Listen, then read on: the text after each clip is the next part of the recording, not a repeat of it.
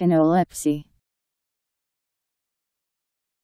A form of epilepsy in which the sufferer experiences frequent brief attacks.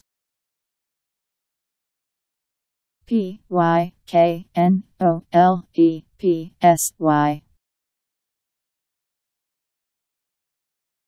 Pyknolepsy